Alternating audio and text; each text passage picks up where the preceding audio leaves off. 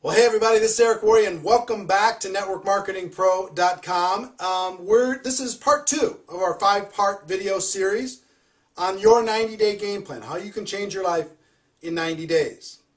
One of the first things that you need to do as you start with this process is you've got to create some specific goals. In other words, why are you going to do what you're about to do because you're going to need to sacrifice. We're going to talk about that sacrifice tomorrow and the next day and the next day. We're going to need to sacrifice over the course of these 90 days. But what are you doing this for? What is your end game? Um, some examples. You might want to do a 90 day game plan to go to a new rank. Maybe you haven't gone to the rank you want to get to, or maybe you want, you've been stuck at a rank too long, you want to break through. But sometimes a rank, maybe there's a convention coming up and you, you, you swore you're not going to, you know, go to that convention unless you're walking across the stage. You know what I'm saying? You should go anyway, but you know what I'm saying? A rank advancement goal can be a powerful goal. Two, can be a team goal.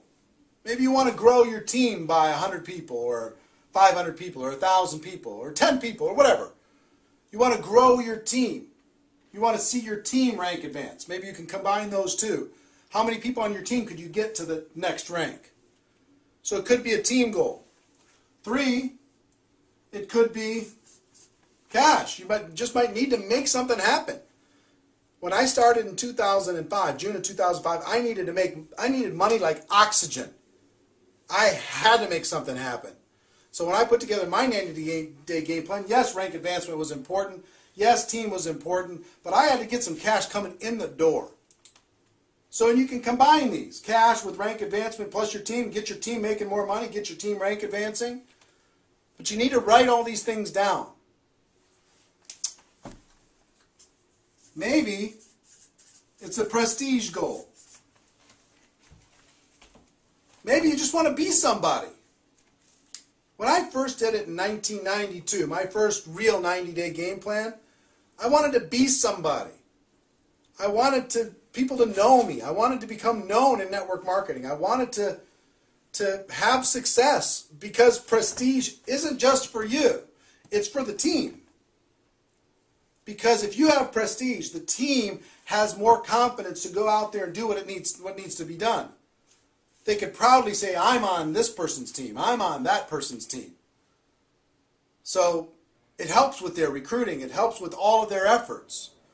These are just some ideas, but what you need to do is you need to write down what are your goals. If you could accomplish anything over the course of a 90 day period of time, within reason, what would those goals be? In 90 days, what would those goals be? It might be a personal recruiting goal.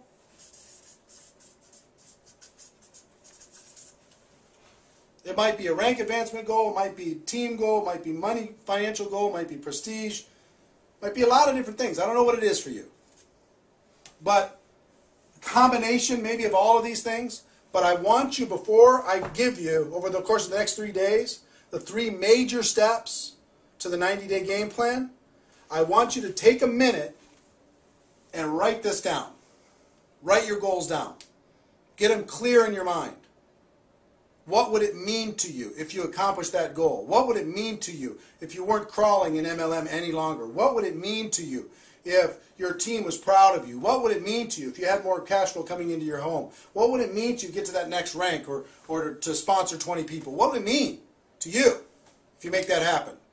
Okay? So write that down, and we're going to start the one, two, three tomorrow. Until then, ladies and gentlemen, my wish for you is that you decide to become a network marketing professional. You decide to go pro because it is a stone cold fact that we have a better way. Now let's go tell the world. That is episode number two. I'll see you tomorrow with episode number three. Take care. Bye bye.